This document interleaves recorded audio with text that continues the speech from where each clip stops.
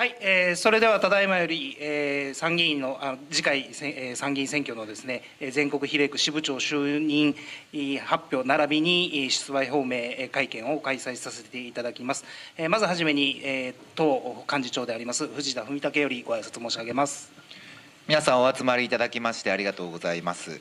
あの 今日はあのこの後定例会見私のもさせていただきますがこれ終わってでもし写真撮られる方いらっしゃった写真を撮っていただいた後に定例会見という形で続けさせていただきます。あの冒頭あの本日はあの南原達樹さんをご紹介するために皆さんにご案内をさせていただきました。あの来たる来年、えー、夏のですね参議院選挙を目指して、えー、選挙区の支部長という形で本日、えー、就任という形で決済は党内決済は8月1日付でございますが今日皆さんにお披露目させていただくという形になります。あの私の世代なんかは本当によく知っている方であの皆さんもご存知の通り「マネーの虎」という大ヒット番組でご活躍されたというのはあの世間にも知られるところで、えー、ございますけれども実業家としても本当にあの成功された素晴らしい経歴をお持ちの方が、まあ、我々の政策そして政治に共感していただき、え仲間になっていただくということで皆さんに、えご紹介をさせていただく次第でございますあのそれでは私からあの長々と喋ってもあれですんでご本人からご挨拶を頂戴したいと思います。えー、今日はお暑い中わざわざ足を運んでいただき本当にありがとうございます僕はですねいろんなこう事業を展開してきまして、まあ、先ほどちょっとマネントラと言われたんですが、まあ、テレビに出てるのは実はほんの僕のほんの小さな側面で、まあ、僕はですねテレビに出るのを趣味だと言ってたんですね。なんであれは全く、まあ、仕事というわけではなくで皆さんよくご存知かどうか知らないんですが僕あの起業したのは自動車業を起業しましてそこからおかげさまでですね随分と右肩上がりに上がっていってで、まあ、女王陛下にですねなんとバッキンガム宮殿に呼ばれるところまで行ったんですがローバーという会社が倒産しましてそこで特損30億出して、まあ、幸いにもですね、えー、銀行の借り入れを全て返して倒産しそうだったんですが、まあ、たまに誤解している人がいるんですが倒産はしなかったんです。でそこで再起を図ってついこの間までですね、えー、総勢5,000人ほどの人を雇用しているという、まあ、そういった企業群をやっていたんですがその企業群を売却しましてふっとこう考えた時にですね、まあ、最近いろんな、まあ、政治の世界がよく YouTube とかでも露出されてると思うんですけど随分とこう日本って変わってきたなと、まあ、僕ら昭和の頃はもっと税金を払って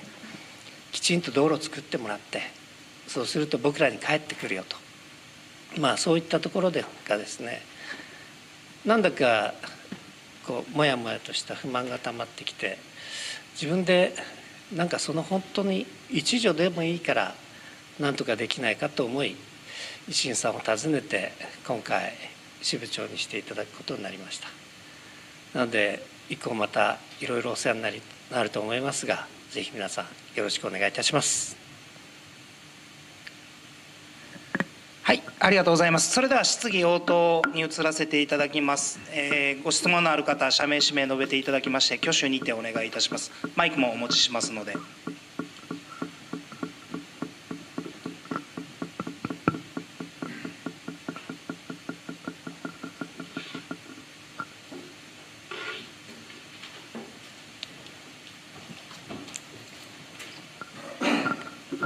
NHK の谷と申します。南原さんにお伺いいたします、はい、あの来年の参議院選挙の全国比例にご出馬されるということで、はい、あの全国的にどどのようにこう得票を目指していかれるのかあの、はい、選挙活動についてどうお考えかお考えをお聞かせください。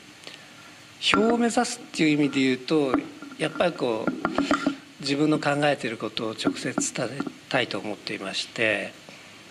結構僕あの今でも出張が多いんですねで全国かなり出張しているもんですから、まあ、いろんな地方の人たちの話をよく聞かせていただくんで、まあ、そういった話もきちんと汲み取れるように、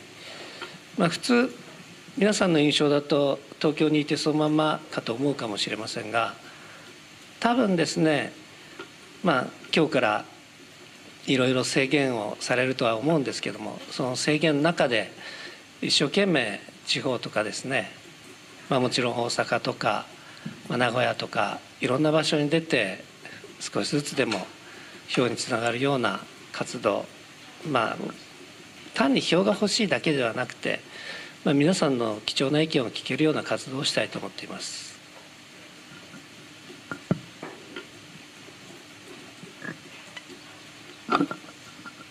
その他ございますか？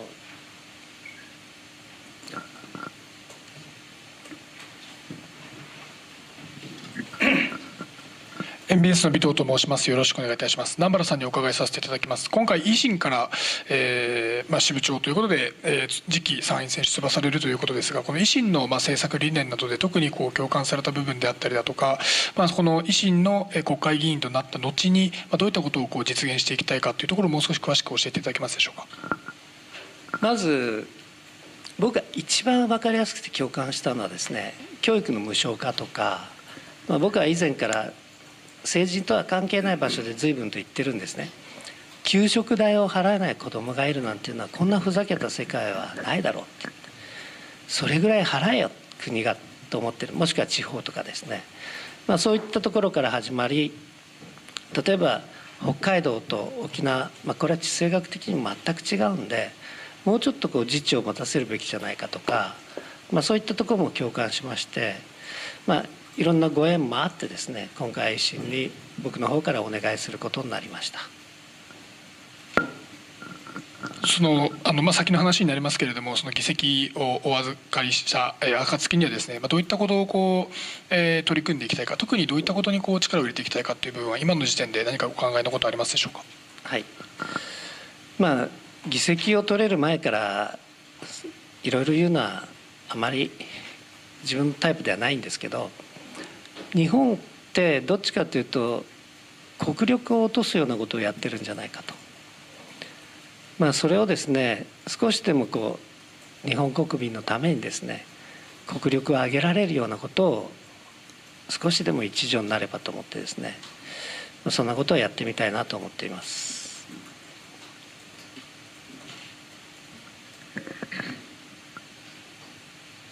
他にご質問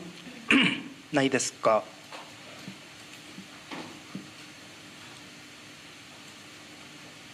あの幹事長へのご質問でも大丈夫ですよ。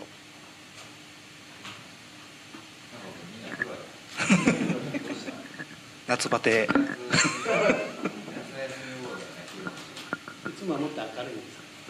笑いが絶えない。じゃあなんか僕が来たから暗くなったどういうこと？それみたいな。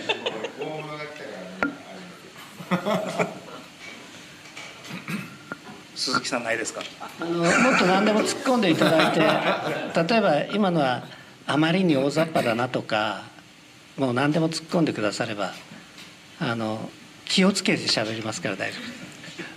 夫今まではあのあまり気をつけずに言いたいこと言ってましたけど。すみません共同通信の副島です。えっと南原さんにお伺いしたいんですが、あの今お話のあったその国力を上げるためにというところをもう少し具体的に何かあれば教えていただきたいです。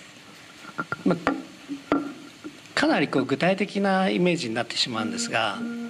例えば僕は自動車が大好きで自動車昔からやってるんですね。でそうすると日本って例えばホンダとかトヨタが自動運転の車を作ろうとしてもどうしても出遅れちゃうんですよ。これはやっぱり国の制度の問題があってですね。例えば中国。中国だと国がそういったところを、まあ、先ほどの話につながる国力を上げるためにですね。例えば特別な街をいきなり作ったりとか、まあ、じゃあここに住んでもいいけどここはもう自動運転走らせるとか、まあ、そういったことを主導してやってしまうんですね。そうすると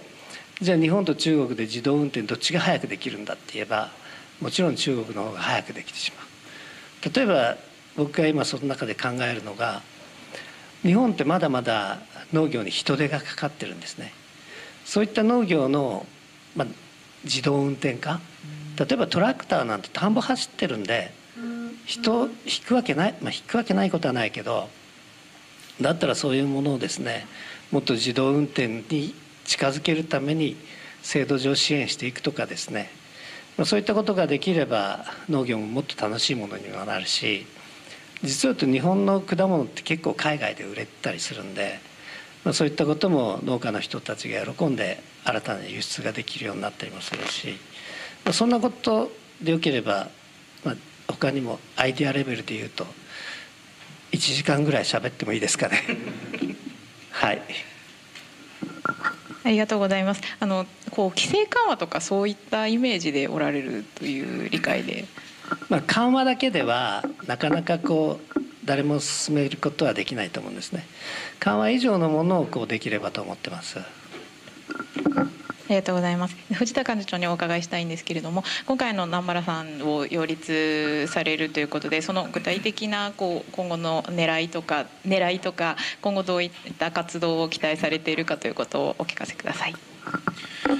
あの南原さんのまあ強みというのはやっぱり経営実務をずっとやってこられで私も経営者でしたがもう全然規模の違うもうスーパー経営者のお一人であの100億以上の年商そして5,000人以上の従業員をぱりこう拡大されてきた。この手腕っていうのはやっぱり並大抵ではない。そういう経営者的なこの発想っていうものを私は常々あの政界にもっと持ち込むべきだと。導入していくべきだというふうな立場でありますから。あのまさに自分のご自身のご商売でもあの苦労もの話もございましたがあの最終的にあの本当に大成功されてそしてそれを区切りをつけられて次は公のために奉仕するという志を持たれたこの南原さんに大変あの共感を覚えるとともにやっぱりあの知名度もありますからあのその知名度を生かしてですね全国の皆さんにこう南原さんのお考えそして、えー、ひいては維新の考えが届いていくように、まあ、そういうあのお一人になっていただきたいと、まあ、このように思いましてあの非常にありがたいこのお申し出といいますかあの公募に申し込んでいただいたことをあの受け止めています。